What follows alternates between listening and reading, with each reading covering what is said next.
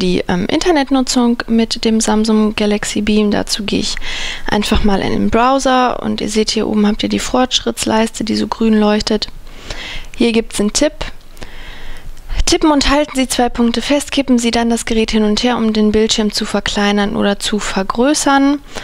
Äh, ja, das äh, ist ja ganz ähm, nett gemacht, aber ich glaube, mittlerweile ist man so an diese Pinch-to-Zoom-Funktion gewöhnt, dass man das irgendwie macht.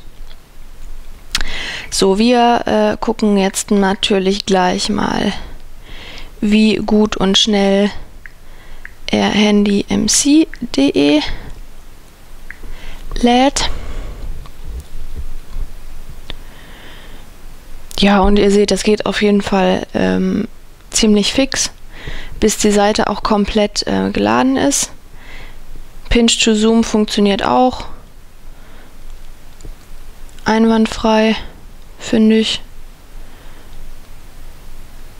Ja, also da gibt es äh, keine Ruckler, gar nichts.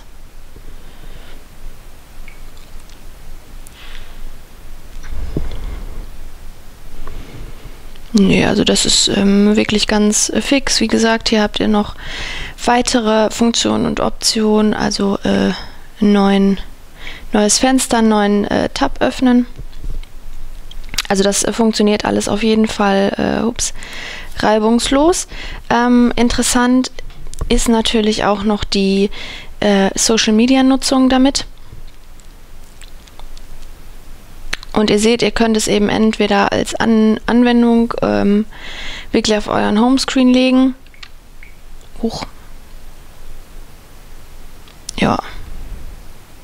Und auch das äh, geht auf jeden Fall ganz fix. Was ich so ein bisschen äh, hier vermisst habe, was ich schon bei vielen anderen Modellen gesehen habe, ist diese ähm, Funktion, in dem man oder diese Anwendung, wo äh, man alle ähm, wichtigen Social Media ähm, Plattformen zusammen synchronisieren kann, also Facebook, äh, Twitter ähm, und so weiter.